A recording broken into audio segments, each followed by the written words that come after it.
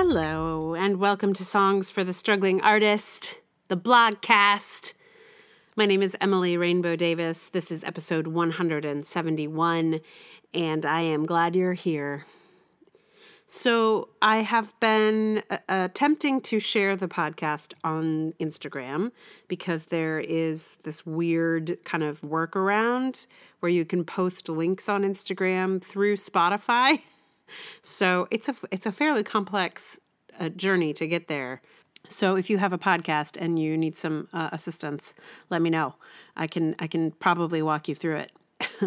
but in that journey uh, of posting the podcast on Instagram, I, you know, I've been like typing up the things in the comment box or whatever it's called.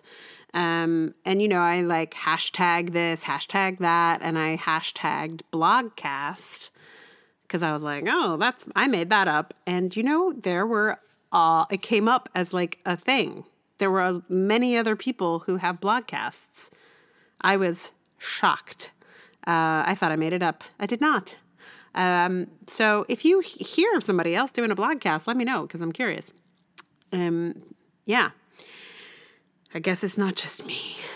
We're all just kind of out here in the world, just throwing our blogcasts and uh, hoping somebody will catch it with a hashtag. Somehow, I don't imagine there's a lot of people who search, oh, where can I get a blogcast? It would be nice, but they, I, I doubt they do that. Um, anyway, today's blog is about being weird, um, which I am. And uh, it's also about other people who aren't weird, which I think is weird. So, um, in that spirit, I give to you be the weirdo you want to see in the world. Look, I've always been a little bit weird. I wore my tutu with pants and an engineer's cap to school when I was a kid. I might still wear this, given a chance. I don't care much for social conventions or fashion trends or behavioral controls. I'm sort of constitutionally an artist, and a certain amount of difference discomfort is just a normal part of my life experience. But recently, I've been feeling like I'm much weirder than I used to be. Or rather, I'm as weird as I've always been, but I seem to seem weirder to the outside world.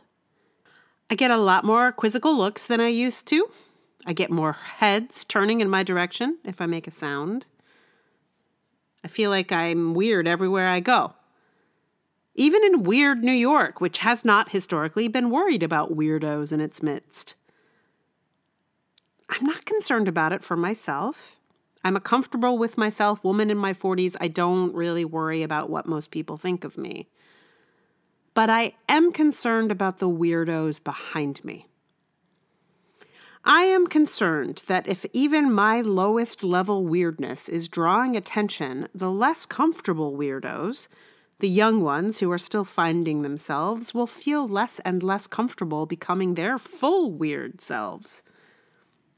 It feels like the world is bending toward a conformity that makes me very nervous. The current bent toward the collective sometimes means more policing of behavior, I think. People seem more inclined to try and fit in somewhere than to just rock who they are, wherever they are. This may be a generational preference. Much of my generation would rather walk into the sun, being 100% true to ourselves, than conform to the crowd. There are absolutely advantages to the group choice, but I worry about the loss of those sunwalkers.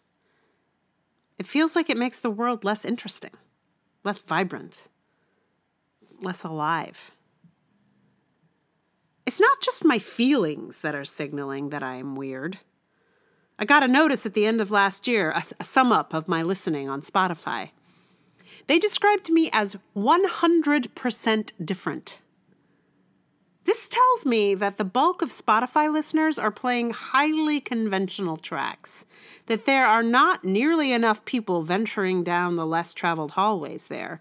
Because, sure, I like to explore music from around the world and will happily venture into unknown musical territory, but there are surely musicians with more adventurous tastes than me. At least I hope there are, because I am really not that weird musically. I don't want to be a lonely, weird music listener. I'll give you another example. I went to an author event. It was a big crowd. And while the subject matter was intense, the author and interviewer were making jokes and being engaging humans. Being the human I am, I laughed at the jokes, gasped at the astounding facts, and clucked at the reported bad behavior of some. But I was literally the only one making any sound. People turned to look at me. I was a sound making weirdo, laughing and responding instead of sitting in silence of the rest of the room. I know I seemed like a weirdo in that room. But to me, the room was weird. Who just sits in silence while someone makes a joke? They're just going to let them flail up there on the stage?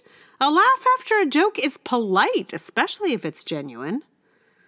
My clown training prevents me from laughing at theater folk who aren't funny, but I will still laugh as a social lubricant in a social and lecture setting. Clown rules do not apply to the general public. Anyway, I walked away from that event feeling as though the world had changed in a way that has made me less welcome in it.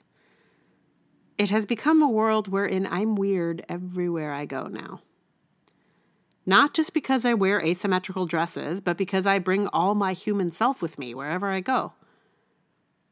Those kinds of things seem to happen more and more, and I don't know what to do about it.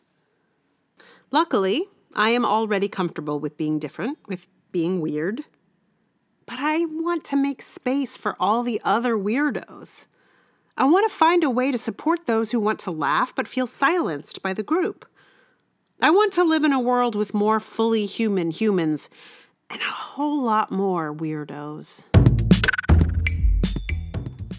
So I told my friend about this event, this author event, where I felt like such a weirdo because everybody thought I was a weirdo for having a human response to to the people on stage. And uh, she was like, Oh, yeah, that's like my classes. She's in grad school, and uh, a lot of the students are younger. And uh, she said it's just super strange. They're, they don't they don't respond. They don't react. They're they're not vocal.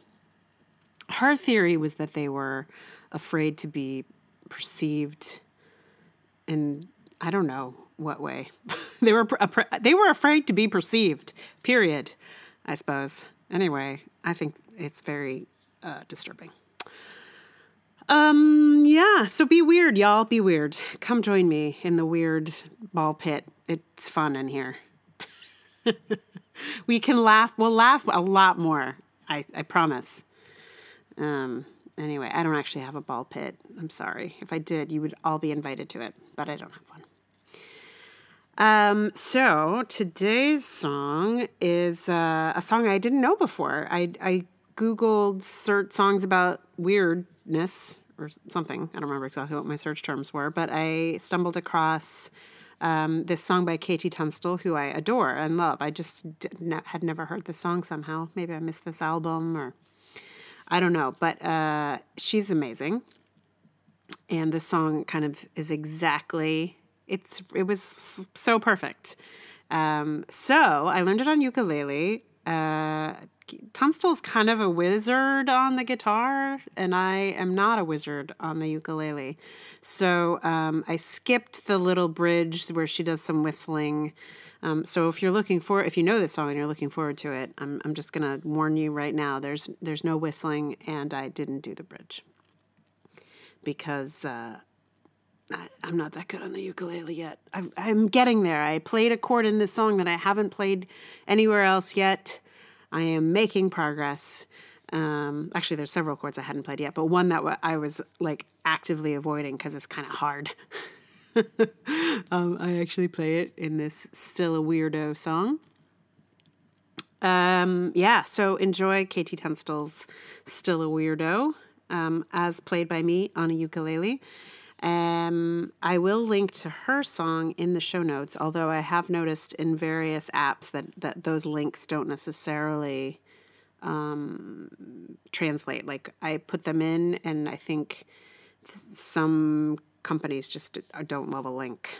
Um, they'll put in the links that are put in directly, but they won't do like uh, I don't know what it's called when you like embed it into the word. So you'll have to search for it yourself if you want to listen to it, and you're listening on a platform that doesn't do that, is what I'm saying. Um, and check it out because she's great. Um, yeah, so if you like the podcast and you're listening, I thank you. That's the most important thing. And uh, if you'd like to support it, tell someone about it. That's great. Um, five stars in various apps, I'm told, also makes a difference. Reviews also make a difference. Um, and if you would like to support the podcast with your money, that's also awesome. And a way to do that is uh, via Patreon, patreon.com slash Emily R. Davis. I would be delighted to have you there. Um, and or uh, you can also shoot me a donation through Ko-fi or PayPal. Ko-fi actually connects to PayPal, so it sort of ends up being the same thing. If you go to Ko-fi, um, uh, PayPal, you can just hit me directly. Both those links are, in the show notes. And uh, I just got one of those today, and it's just such a great, sweet little boost. I tell you what, you go like, oh, oh, hmm. I mean, you know, three dollars, but like three dollars, three dollars, man. It's nice. It's the three dollars I didn't have before. It's very nice. Um, so, without further ado, I give to you KT Tunstall's Still a Weirdo.